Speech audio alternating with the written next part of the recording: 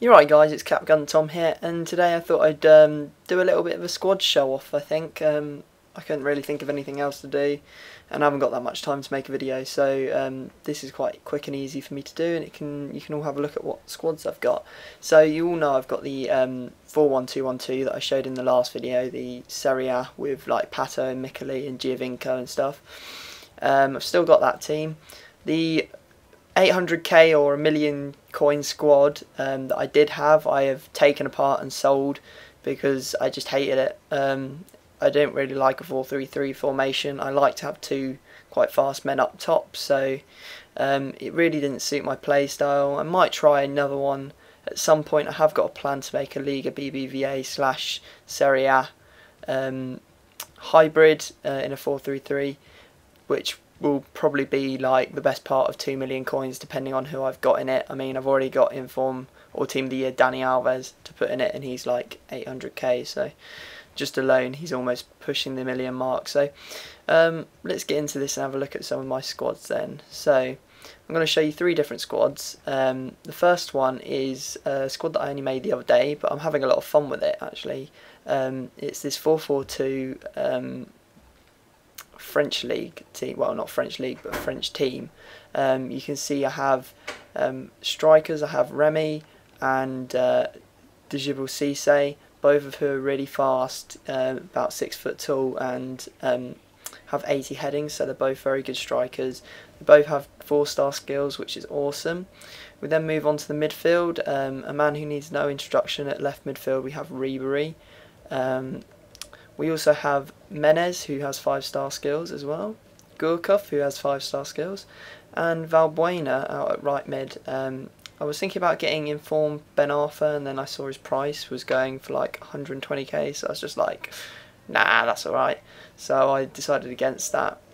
Um, I then have Konko at right back, and I know a lot of you are going to say, oh, why aren't you using Sagna? But I've been using Konko for a long time, and uh, I feel that his um, pace coupled with uh, his defensive mentality really make him a good um, player because it means that my play I don't get caught out of the back all that often with like uh, like four versus two. I usually got I've usually always got three people back. At left back we have Evra. Um, in the middle we have Sakho uh, who's very fast uh, for a centre back, 74, and this was this was the problem uh, position that I couldn't find someone for.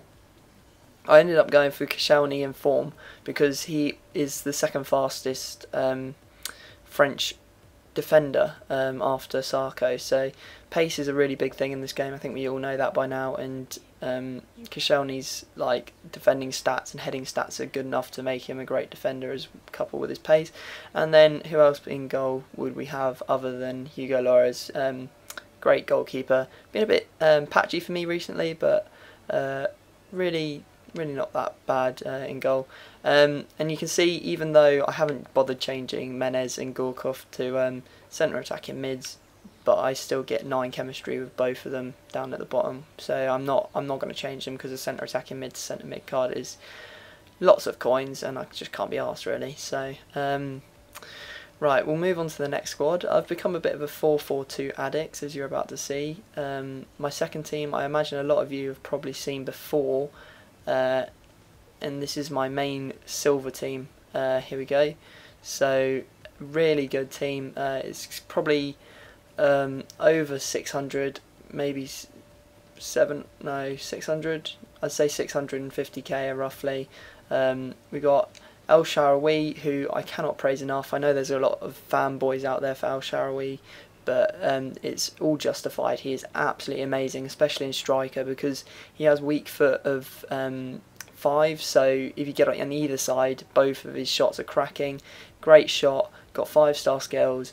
Um, he's strong, he's agile. Oh, it's just everything you could ever want in a striker. We then have Marlos, who is um, obviously going up in price. Well, he did shoot up in price as people panic bought him, but um, he's dropping back down a bit, um, but he's leveled off at about 130 or 150, I think, something like that, 150k. Um, but he will go back up as they become scarcer as the COSAF packs, which I think he might have already done. So um, he'll definitely be going up in price.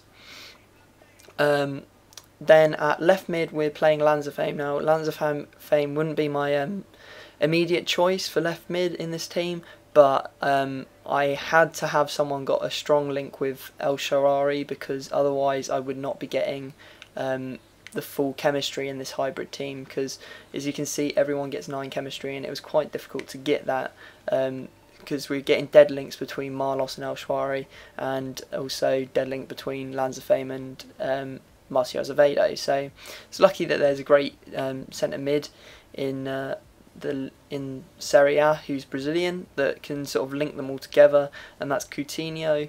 Great player. I think he's got a cracking long shot. He's got four star skills, and he's got a nice little afro to go with it. So can't complain. Then we have uh, who's uh, pretty much a beast. I mean, I think he'd be probably be better suited to like an attacking midfield role, but um, you know, he does the business in centre mid and he's got five star skills, so that's pretty much why I've got him.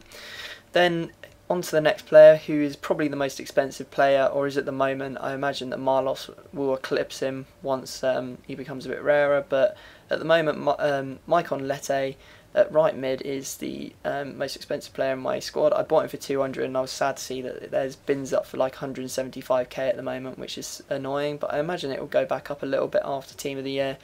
Um, he's got five star skills and look at his pace 91 absolutely insane um, I'm a little bit underwhelmed with him for his price. I mean I was expecting a lot more but um, and I tried Danilinho someone lent me one uh, not even in the right formation and I scored an absolute amazing goal with him like skill run the first time I got a hold of him. So um, it's I'm really undecided as to whether I want to keep uh, um, Maicon Leite there or put Danilinho there instead.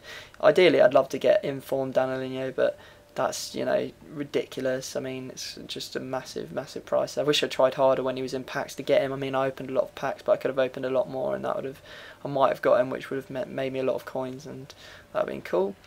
Anyway, left back we have Marcio Azevedo, um, five star skiller, the only five star skill um, defender in the game and he is um, I don't know. People have told me he has a beast long shot, but I haven't seen that for myself. Generally, he's very good at coming up and uh, supporting the attack, probably a bit too much sometimes, and uh, so you know. But with it, with his pace and stuff, he's quite able to get back quite easily.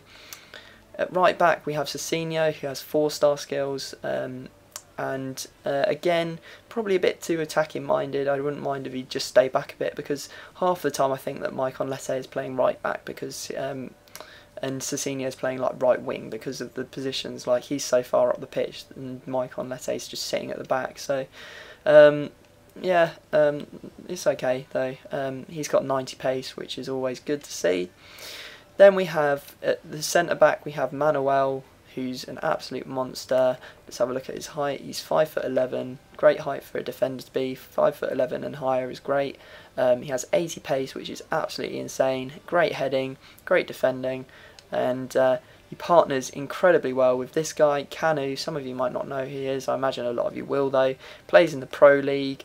Um, not sure which club it's for. Let me check. Uh, he plays for Standard Liège. Uh, he's six foot two, and he's got 80 pace, and again heading of 79 and defending of 73. So really beastly stats. Now we move on to the last player, which is goalkeeper Neto or Nito, however you want to say it. Mm. Now I've been told that he's like the best Brazilian goalkeeper as well as the best Serie A goalkeeper because he plays for Fiorentina. But um, I'm starting to think I might try out some other goalkeepers because he seems a bit mm, hit and miss sometimes. I'll uh, say. So that's um that's the next squad. That's the hybrid squad. Now the last squad I'm going to show you is literally pretty much the same. I mean the defense is exactly the same. The right mid is the same. Marlos is in it as well but if we go and have a look at it um, it's a full Brazil team just so you can see it. Um, still trying to think of who I want to put up front with. Uh, Marlos obviously informed Danilinho would be the best choice because then I get the five star skills. But um, uh, I'm not sure if I'm going to ever be able to afford that, so so let's go for it quickly. So we have Kieran, obviously Marlos again, um, Wellington Silva left mid who has five star skills, one of the only changes in the squad. Um, not the fastest. I mean, 81 pace is still good for a silver player, but like compared to like some of the other players in the team, it's not that much. We obviously have Moraes again, and then Jean, who I cannot praise enough, is great um, player, really well-rounded centre midfielder, uh, gets back and defends, has a great long shot, so really great um, player. And as you can see, obviously all of the other players are the same in the team, other than Jean, Kieran, and Wellington Silva.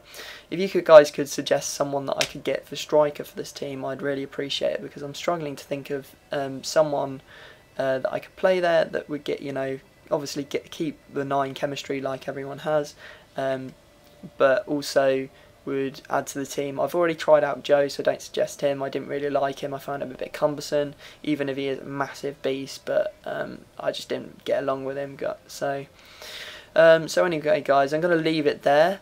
Uh, I hope you've enjoyed this video. I mean, um, quite cool showing you my teams. Uh, I put a lot of effort into them, so I really appreciate some good feedback. And um, I'll leave it there. Um, if you could drop a like, that'd be awesome, and a subscription, uh, subscription if you haven't already. And uh, I guess I'll see you all next time. Cheers.